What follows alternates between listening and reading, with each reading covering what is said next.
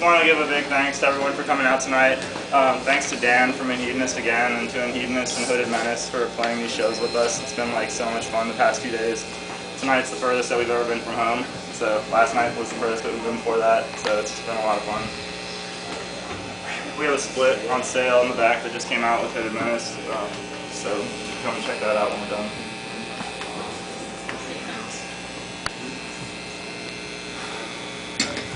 Oh, Thank you.